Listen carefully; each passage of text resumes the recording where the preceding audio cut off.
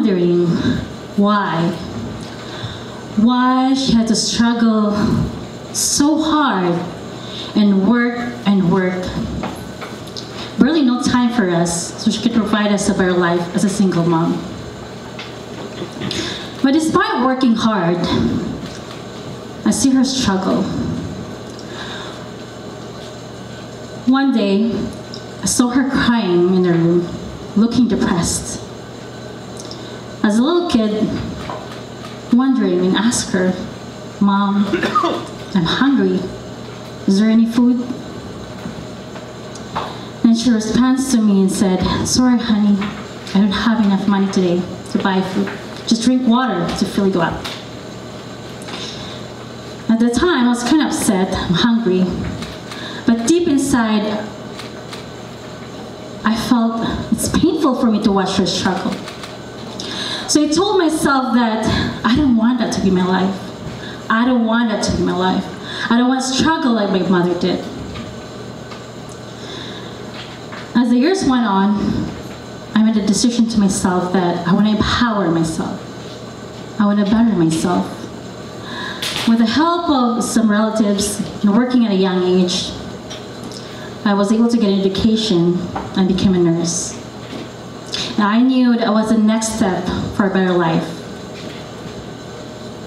But little did I know that my journey will only start as I embark another life living in a foreign country. So, adversity. As I moved to a different country, leaving my homeland, it was a very scary thing. Imagine yourself moving to a different country you've never been.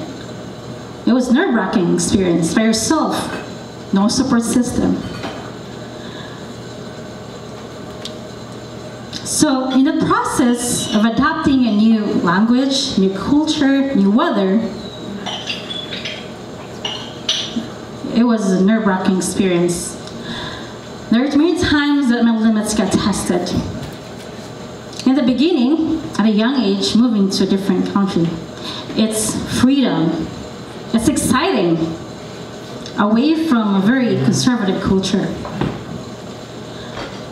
Figuring out how will I strive in, how will I fit in, and hoping to be welcome in a country I've never been.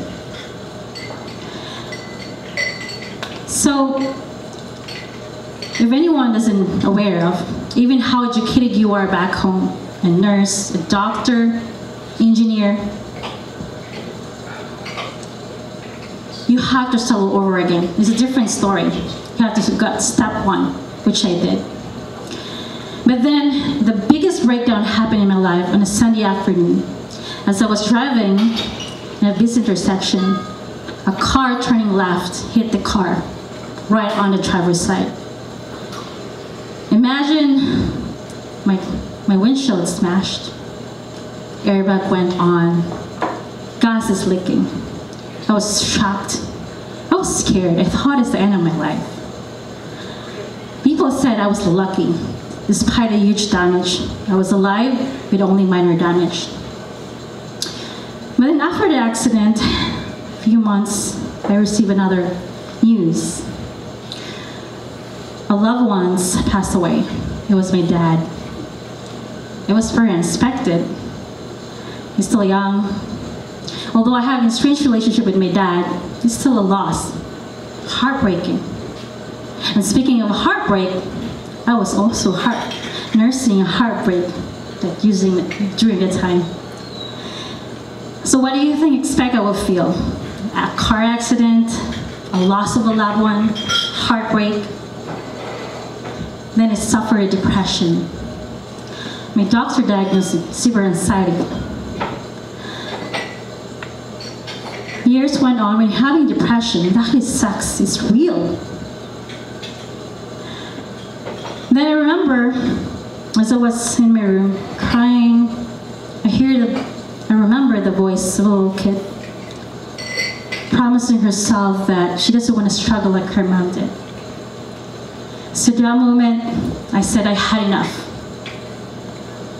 I stopped making excuses. I made a commitment to myself that I want to be the change I want to be.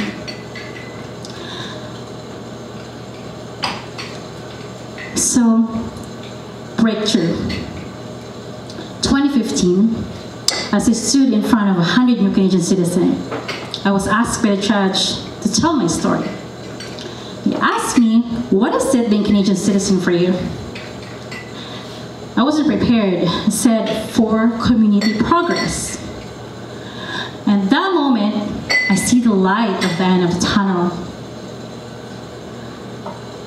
Days after days on, it became my purpose. I knew that I had given a second life, a second chance. So later on, I realized that I want to make an impact. I want to make a difference through public speaking. In pursuit of looking for that purpose, I began to self-educate myself.